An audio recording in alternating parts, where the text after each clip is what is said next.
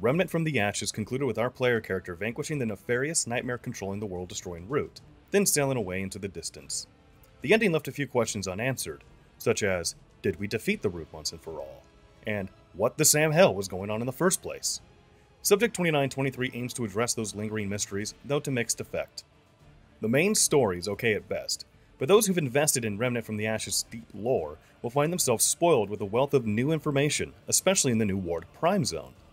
Subject 2923 is a separate campaign accessible from the World Stone in Ward 13. From there, they'll be jettisoned off to the Golden Crest Hills, a minor zone that rests outside the fabled Ward Prime. The Goldcrest Hills is a mixed bag. On the one hand, it's intentionally short and is intended to help flesh out the world and lore of the game. The foggy moonlit fields and dilapidated barns and silos stand as a haunting reminder that the root consumed every inch of Earth during their conquest.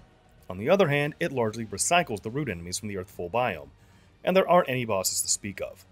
Considering the Gold Crest Hills is more or less here for some good old fashioned scene setting, this isn't a huge concern, but I personally found myself wanting a Corsus style version of this zone. I know I'm being greedy here, but I wouldn't have been upset if the Gold Crest Hills had a little more meat on the bone. The Gold Crest Hills are short, because the other two zones are far, far more substantial. Ward Prime doesn't actually feature any enemies to fight, nor a single boss fight. Thing is, Ward Prime is a clever combination of dimension hopping stealth gameplay and lore depository. Fans itching to get back into the action may take issue with Ward Prime, but those invested in the general lore of Remnant from the Ashes will lose their damned minds within its concrete and root infested walls. The entire zone is split into two dimensions ours and the roots. Players need to traverse between the two and destroy giant progress blocking root cores if they wish to ultimately access the portal to the new biome of Reisum and Subject 2923. But while on the roots of Ward Prime, they'll need to avoid patrolling nightmares that can't truly be killed and can murder them in short order. The stealth isn't robust by any standard, but a clever assortment of paths allow players an assortment of routes to evade these roaming death plants. All throughout Ward Prime are audio logs, written notes, and eventually computer databases chock full of lore.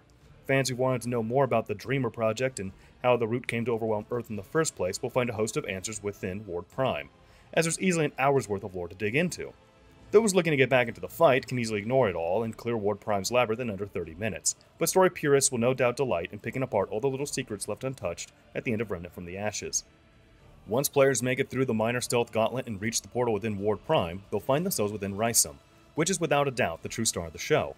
The icy mountainside biome is a blend of classic Norse design and scavenged earth materials, this design keeps the more generic portions of the design from boring completely, because as lovely as Reisum is, it's a pretty bog standard ice zone.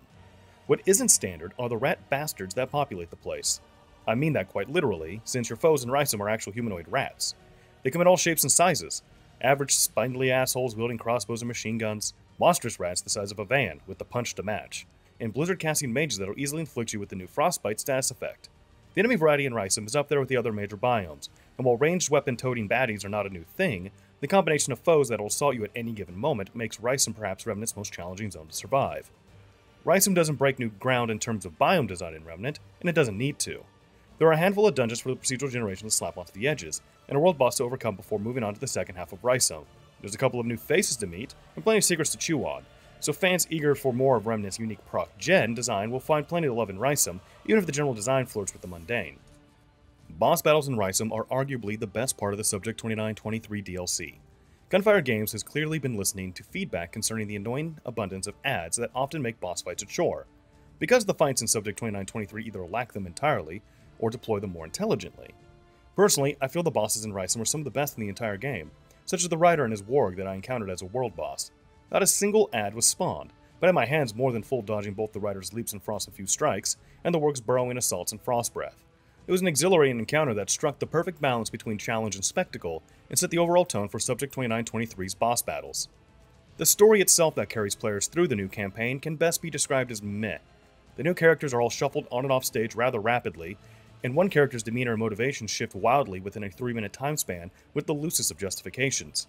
It's serviceable, and does bring the story of Remnant to a close, but even at 5 hours to complete, I'd have liked a little more time with these characters, if only to make certain story beats more impactful. The door is somewhat left open at the end for a possible sequel, but those here for strictly the narrative will find the rushed conclusion a touch lackluster. Of course, Remnant from the Ashes isn't a plot first type of game. Players have spent the last year digging up every conceivable secret Gunfire Games has buried within the various biomes, and Reisum is not lacking in this regard. There are new armors, weapons, accessories, and traits to unearth. Repeat runs are as necessary here as they are elsewhere in the game, and Reisum's inclusion in adventure mode is a welcome addition. There's plenty to see and find here, and puzzles that will require repeat attempts to crack. Subject 2923 may not deliver the best story out there, but it nails Remnant's core loop with aplomb. The cherry on top is the sweeping balance changes that are tied to the Subject 2923 patch, which are included for all. Rather than nerf any overperforming equipment or traits into the ground because it didn't meet their vision, they've opted to instead first try and buff up the weaker aspects to match. Gunfire has gone out of their way to bolster as many viable builds as possible during Remnant's life cycle, and the tweaks that come with this DLC are no different. Not everything will be perfect, but I'd love to see more developers adopt Gunfire's approach to balancing and addressing fan feedback in the future. A quick note on performance. By and large, nothing has changed with Remnant from the Ashes with Subject 2923. The new zones are comparable to the existing zones in terms of frame rate and graphics, though I experienced frequent crashing no matter where I was at in Remnant. Almost every hour my game would freeze and could only be closed via the task manager. This issue is remarkably annoying considering Remnant from the Ashes uses a Dark Souls-esque bonfire system, so a freeze in the middle of a dungeon was no different than death. Hopefully Gunfire can address the issue shortly after launch, but expect the game as a whole to be unstable.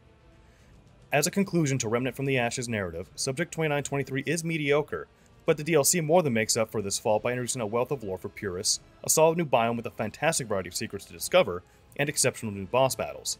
Balancing has never been better, and players who own every DLC will find Remnant is in the greatest shape it's ever been in. Constant crashes and freezing bring the overall experience down, but once the issue is squashed, Subject 2923 is easily a must-buy for fans of Remnant from the Ashes. Even without the course's DLC, Subject 2923 provides dozens of hours of entertainment, and acts as a fitting end to Remnant from the Ashes. The story may not be the greatest, yet Subject 2923 manages to conclude Remnant with a bang, not a whimper.